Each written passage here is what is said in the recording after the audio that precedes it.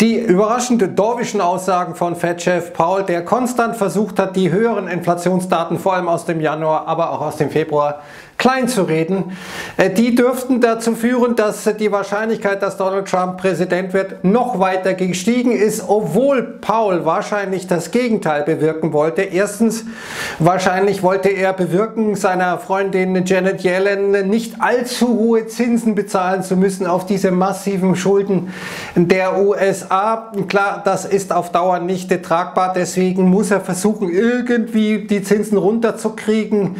Die Frage ist nur, was macht das dann mit der Inflation? Das ist das Erste. Das Zweite aber ist, dass äh, wahrscheinlich die Wahl für Biden so oder so nicht zu gewinnen sein wird. Und wenn mit diesen Aussagen von Paul die Finanzkonditionen sich weiter lockern, wird die Inflation weiter ansteigen und damit schwinden die Chancen Bidens auf Null weiter die ähm, oder die Wahl gewinnen zu können. Denn was die Amerikaner nervt, ist nicht, dass äh, die Wirtschaft nicht gut laufen würde. Die läuft ziemlich gut, sondern dass das hohe Preisniveau nicht runterkommt, sondern immer weiter steigt, auch wenn die Steigerungsraten ein bisschen abgenommen haben. Aber das schürt die Unzufriedenheit mit beiden. Paul durch niedrig oder durch Kleinreden der Inflation schürt letztendlich wieder neue Nachfrage durch Lockerung der Financial Conditions. Das wiederum wird die Inflation nach oben bringen. Und das machte Trump dann letztendlich zum relativ sicheren Präsidenten. Wir wollen uns die Dinge mal anschauen. Äh, vor allem eben diese Dotplots waren es mit den weiteren drei Zinssenkungen für 2024, die die Märkte zunächst mal euphorisiert hatten. Auch wenn man eine Zinssenkung seitens der Dotplots aus dem Jahr 25 oder für das Jahr 25 gestrichen hat. Aber das äh, war das eine. Dann äh, sehen wir aber, dass diese Entscheidung sehr knapp war. Es hätte nur ein Fettmitglied ganz wenig äh, hier an der Schraube drehen müssen, äh, dann wären es doch nur zwei Zinssenkungen für 2024 äh, gewesen. Aber Schwamm drüber, Goldman Sachs sagt, ja, ähm, unsere Interpretation ist, dass Fed-Chef Paul und eine knappe Mehrheit, das ist eine knappe Mehrheit, wollen nicht zu spät die Zinsen senken. Äh, sie streben offenkundig die Juni-Sitzung an. Das ist das eine. Und Standard Chartered sagt, ja, also ähm, die höhere Inflationsprognose und die Wachstumsprognose scheinen zu signalisieren, dass die Fed eine moderat leicht höhere Inflation in Kauf nimmt. Genau das ist der wahrscheinlich der Fall. Man sagt sich, hm, wir müssen jetzt irgendwie gucken, dass wir da einen Dreh reinkriegen. Wir können uns diese dauerhaft hohen Zinsen bei dieser Verschuldung nicht leisten. Also tolerieren wir mal ein bisschen eine höhere Inflation, auch wenn Paul das gestern zurückgewiesen hat. Stichwort das 2%-Ziel bei der Inflation. Aber eins ist eben klar, Paul hat, wie Gordon Johnson hier sagt, im Grunde klar gemacht, dass man nicht data-dependent ist, also datenabhängig. Sonst müsste man stärker auf die Inflationsdaten reagieren. Äh, sonst müsste man äh, sagen, okay, wir nehmen die Wachstumsprognosen rauf, dann müssen wir auch die Zinsprognosen mit nach oben nehmen. Das äh, war ruchlos, wie Gordon Johnson hier sagte, denn äh, die Bondmärkte oder insgesamt dürfte die Inflation steigen und die Anleihenmärkte, äh, die werden sagen, naja, ihr könnt ja sagen, was ihr wollt, aber wir wollen höhere Kompensationsraten, weil wir schnüffeln, dass da viel mehr Inflation kommt. Da werden wir uns nicht abspeisen mit niedrigen Renditen und wir haben gesehen, bei den länger laufenden Renditen, die haben praktisch nicht reagiert auf die doffischen Aussagen von Jerome Powell. Und ähm, Ross Hendricks bringt es hier nochmal auf den Punkt. Äh, wir geben den Kampf gegen die Inflation auf und äh, wollen auch das Quantitative Tightening beschränken, weil wir müssen eine Wahl gewinnen und müssen äh, 2 Billionen Perpetual Budget Deficit finanzieren.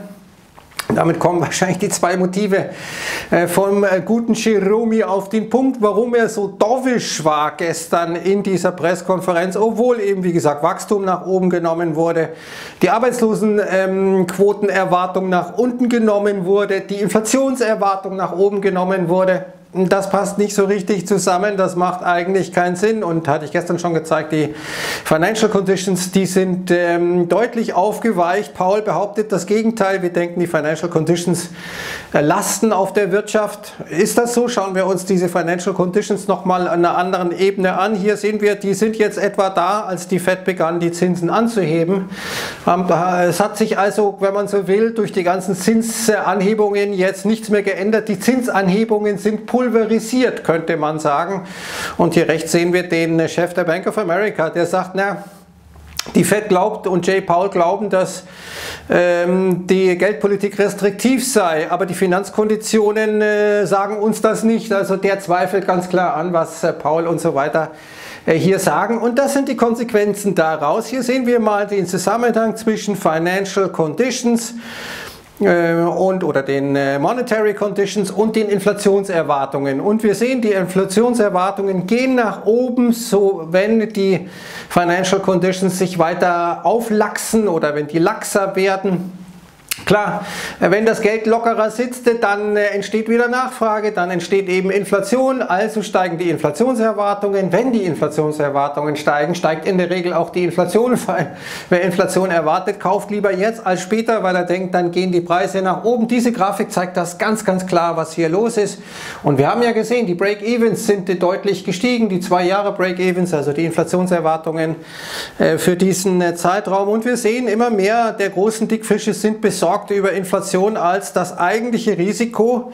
32 Prozent deutlicher Anstieg zuletzt und die haben einen sehr, sehr guten Punkt, denn Paul, äh, der verhält sich wie Arthur Burns indem er eben die Financial Conditions sich weiter auflockern lässt und damit all diesen Cocktail äh, ermöglichte, der dann zu einer höheren Inflation führen wird. Er wird sich dafür verantwortlich machen müssen, denke ich. Und das ähm, vor dem Hintergrund, dass eben diese Inflation ähm, die Leute kaputt macht. Er hatte hier das gestern schon mal gezeigt.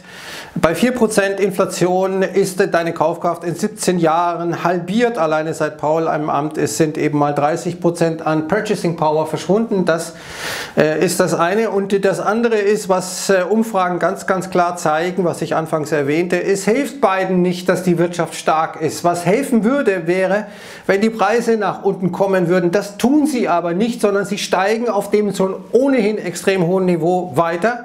Und das sorgt für die Unzufriedenheit mit der beiden Regierung. Das ist der Hauptgrund und so sagt Gordon Johnson zu Recht. Genau das Nämlich die äh, Inflation, die durch die Fed jetzt wieder mal beflügelt wird, wird die Wähler noch mehr äh, Donald Trump in die Arme treiben als äh, ohnehin schon. Und hier sehen wir auch nochmal, dass der Easing Talk äh, von ähm, Jerome Powell und der Fed Joe Biden auch nicht wirklich hilft in den Umfragen. Es gibt keinen Zusammenhang zwischen, naja, wir wollen die Zinsen vielleicht senken und Zustimmungswerten zu ähm, Biden. Das ist äh, sozusagen die, äh, das, die Krux letztendlich für den US-Präsidenten, dass ihm damit nicht geholfen ist. Vielmehr sehen wir, dass die Benzinpreise deutlich ansteigen in den USA, also ein zentraler Inflationstreiber, die Gallone jetzt bei 3,53 deutlich gestiegen und wir sehen Rohstoffe insgesamt, die natürlich auch wie Kupfer etc. jetzt hier nach oben tendieren, wenn man das Gefühl hat, die Fed tut nicht wirklich etwas gegen die Inflation. Das heißt, wir sehen, dass auch von dieser Seite äh, Inflationsdruck kommen wird. Gleichwohl erwartet Goldman Sachs die erste Zinssenkung im Juni. Das dürfte jetzt Konsens sein an den Märkten. Ähm, und dann ähm, geht das Ganze langsam runter, bleibt aber weit über 3%. Die FED hat ja gestern selber gesagt, wir erwarten Ende 2025 Zinsen von 3,9%. Also das würde bedeuten, dass ähm, der Zins, die Zinsen, die Leitzinsen so um 1,5% bis Ende nächsten Jahres fallen würden. Äh, das ist jetzt auch nicht äh, das riesige Ding. Hier sehen wir aber, dass ähm, diese Zinspause der FED schon relativ lang ist, der, die zweitlängste mit 10 Monaten. Äh, Im Mai ist ja die nächste Sitzung, nehmen wir mal an, auch da passiert nichts. Das zumindest nehmen die Märkte an, dass das ja erst im Juni passiert. Dann hätten wir elf Monate, das wäre die zweitlängste Strecke in den letzten äh, Zinsperioden, wo die Fed nach der letzten Zinsanhebung die Füße stillgehalten hat. Und das natürlich zu Recht aufgrund der ähm, wieder auflebenden Inflation. Wir sehen, dass gestern an den Märkten die Zinssenkungserwartungen deutlich reagiert haben. Und das Lustige ist, dass ja vorher die Märkte hier Nasdaq gegen Zinssenkungserwartungen, dass die Märkte das ja komplett ignoriert haben. Aber wenn die Zinssenkungserwartungen äh, sozusagen wieder steigen, also man mehr Zinssenkung erwartet, dann steigt natürlich auch der Nasdaq. Vorher hat er das ignoriert. Ähm, das ist Rosinenpicking. Interessant aber auch, dass der Nasdaq Ähm, schwächer ist nach wie vor als der S&P 500. Das sind äh, Muster, die man oft eben an Tops oder an Böden sieht. Wenn zum Beispiel der Nasdaq beginnt stärker zu werden als der S&P 500, dann ist das oft ein Zeichen für einen Boden. Mal sehen, wie es diesmal äh, kommt. Wir sehen aber auf jeden Fall, dass die äh, Anleiherenditen nicht groß reagiert haben, zumindest die länger laufenden hier, wie bei der 10-jährigen US-Staatsanleihe. Der Dollar hat reagiert, ist jetzt zunächst mal auf sein Ausbruchsniveau wieder zurückgekehrt, könnte da eine Unterstützung finden. Und äh, wenn wir nochmal ähm, hier zu Bitcoin und MicroStrategy kommen, also zu Michael Saylor, der so viel Bitcoin kauft, äh, wie geht, dann warnt jetzt der JP Morgan und sagt, das ist ein Klumpenrisiko, denn ähm, MicroStrategy kauft ähm, oder die Bitcoin-Bestände von MicroStrategy werden als Sicherheit eingesetzt, damit sich das Unternehmen noch mehr Geld leihen und noch mehr Bitcoin kaufen kann. Das ist ein Muster, was wir in den 20er, 1920er Jahren gesehen haben. Da haben die Leute Aktien gekauft auf Pump, haben diese Aktien dann als Sicherheit für ihren Kredit hinterlegt. Äh, geht alles gut, solange die Kurse schön steigen. Wenn die Kurse aber deutlich fallen, dann wird die Sicherheit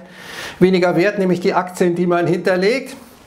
Dadurch sagt dann der Kreditgeber, äh, du musst nachschießen, wir brauchen neue Sicherheiten, weil deine Sicherheit ist weniger wert geworden. Da, dann muss der ähm, entsprechende Kreditnehmer eben weitere Aktien verkaufen, um überhaupt diese Liquidität zu generieren, um nachschießen zu können und so entstehen dann Dominoeffekte. Das kann, wenn die Kurse mal maßgeblich unter Druck kommen sollten bei Bitcoin, eben genauso mit Michael Saylor passieren, wird wahrscheinlich sogar passieren, denn es sind solche Muster, die immer wieder scheitern.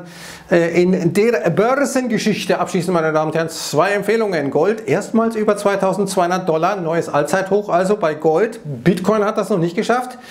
Nachdem wir ja auf 74.000 waren, dann auf 61 runter, aber natürlich auch nach der Fed gestern erstmal deutlich gestiegen. Also erste Empfehlung Gold und zweite Empfehlung Something Completely Different, nämlich der Etikettenschwindel Wasserkraft. Das ist billig, aber nicht grün. Wasserkraft wird uns als grüne Technologie verkauft. Wir haben mal, oder mein Kollege Andreas Niederwiese hat mal hinter die Kulissen geguckt und zeigt, was das in der Realität bedeutet, wie krass da Umwelt zerstört wird. Und ähm, das äh, unter dem grünen Logo, Mensch, ist doch grün, oder? Und das zeigt so ein bisschen, wie verlogen so vieles letztendlich ist. Äh, wir machen uns unsere Umwelt wirklich kaputt, aber haben natürlich ein super Gewissen dabei. Diese beiden Empfehlungen, meine Damen und Herren. Und wenn Ihnen die Artikel gefallen, äh, haben Sie über den Artikel zur Social Media Buttons, würde ich mich freuen, wenn Sie die weiterempfehlen auf Social Media. Also diese beiden Artikel. Ich sage Servus, ciao.